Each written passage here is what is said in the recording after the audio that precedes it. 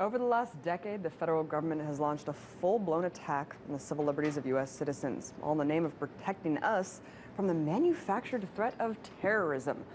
Along with the rise of the expanding surveillance state, there's a coinciding crackdown on whistleblowers exposing government wrongdoing. This climate of censorship has given rise to a new form of dissent, hacktivism. No group exemplifies this more than the online collective, simply known as Anonymous. By now, you've surely heard of activists like Julian Assange or Aaron Swartz. But how much you know about Barrett Brown? He's a 31 year old writer who was arrested last September and later indicted on a dozen different federal charges for disseminating information associated with the Stratfor Intel WikiLeaks release. So, what threat does Brown really pose to the government to merit a potential sentence of over 100 years in federal prison? And should distributing damning information from the clutches of shady corporations be a crime at all? To discuss this and more, I'm joined now by Christian Stork of WhoWhatWhy.org from our New York studio. Thanks so much for coming on, Christian. Thank you for having me. So, talk about the charges brought against Barrett Brown. Why is he facing more than a lifetime in prison? Well, Barrett Brown was indicted three separate times, uh, and as you mentioned in your lead up, one of those times was for copying and pasting a chat room link or a link between chat rooms from an anonymous uh, internet relay chat to a Project PM relay chat, Project PM being uh, Barrett Brown's initiative that he had interest in. So he was first raided by the FBI on March 6, 2012 uh, in looking for information related to the hack of Stratfor, a private intelligence firm with significant ties to the American intelligence community. And uh, it's also in relation to the entities his uh, research effort was uh, looking into. Uh, they couldn't find anything, and he sought refuge at his mother's with a laptop. Uh, they then came to the mother's, asking for the laptop. Uh, he didn't give it. They returned with a search warrant and were able to obtain it, but still couldn't find any sort of uh, any criminal link between him and the hack itself.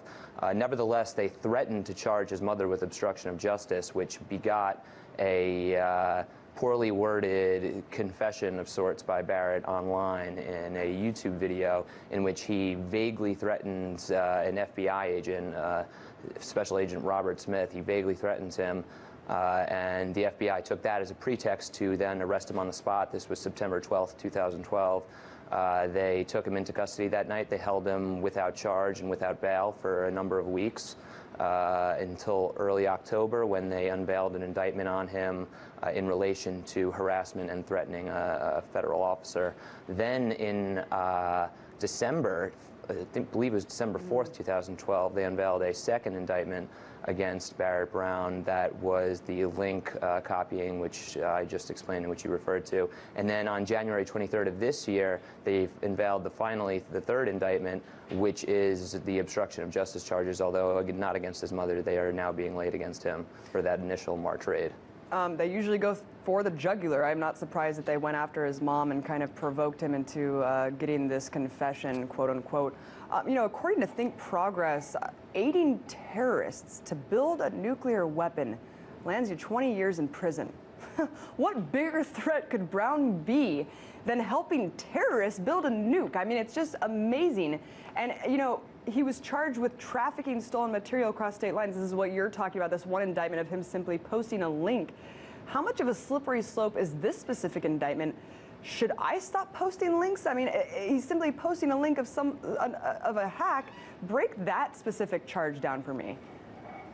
Well, that specific charge is actually uh, the most interesting one, I believe. He uh, as I mentioned, he copied and pasted a link from an anonymous IRC. It's basically your uh, any normal chat room that your viewers can imagine uh, into a Project PM IRC. Now, the link he copied itself wasn't a generalized link to the overall cache of documents. Uh, it was more precise than that, although in, its, in itself it contained massive amounts of data, and so I refer to it as a sort of a sub-cache uh, of documents. And in that data were a number of uh, credit, was the credit card information of a number of clients and subscribers to uh, Stratfor's emailing list and uh, other people who had given them their billing data.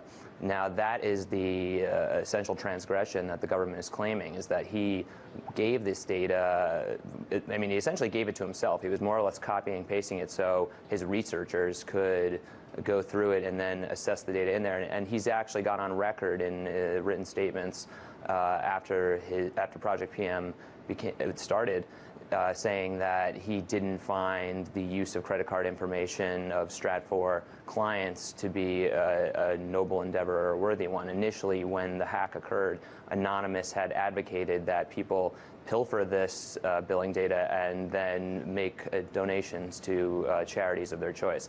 It, it, turns out, in actuality, that would be much less feasible, considering people would simply call their credit card companies, cancel the transaction, and mm. eventually the uh, the charities might end up receiving uh, bad press about it. So uh, Barrett Brown was explicitly against such tactics and had only posted that link in terms of trying to uh, make it a research subject for Project PM. And talk briefly about Project PM. What was he able to reveal through this project? Sure. So Project PM is a crowd-sourced uh, distributed think tank. It's essentially a wiki where readers can be editors. And although it started in 2009, it really gains its own purpose after the hack of a cybersecurity firm known as HB Gary. In February of 2011, HB Gary their HB Gary Federal CEO, Aaron Barr, at the time, eh, he was quoted in uh, Financial Times pieces as outing the uh, top three members of Anonymous. Uh, Anonymous, in retaliation, hacked his servers, obtained all sorts of emails, 75,000 plus emails from his account, and that was the Project PM research effort was going through those emails. Now, in those emails were a number of extremely shady deals, uh, or excuse me, potential deals. They were pitches between these cybersecurity firms and the uh, law firm and lobbying firm Hunton and Williams. Uh, and Hunton and Williams was soliciting uh, pitches in efforts to destroy uh, WikiLeaks uh, in terms on behalf of one client, that client being Bank of America. They were worried that WikiLeaks was sitting on a cache of documents from Bank of America, and also in another case of trying to attack uh, critics of the Chamber of Commerce. The Chamber is also a uh, client of Hunton and Williams. So uh, those were potentially uh, illegal. There were certainly nefarious deeds being uh, at least thought out, at least in their initial conspiracy stage among the cybersecurity firms and uh, a cutout for what were essentially their clients were being uh, Bank of America and the Chamber of Commerce. Well, definitely, uh, he's just the latest in a long line of people being attacked. Um, Obama saying he doesn't want to look backward to prosecute Bush criminals, but he's certainly looking backward to dredge up archaic pieces of legislation to prosecute whistleblowers. Thank you so much for coming on. We'll definitely be paying attention to this case. Um, Christian Stork, who, what, why.org.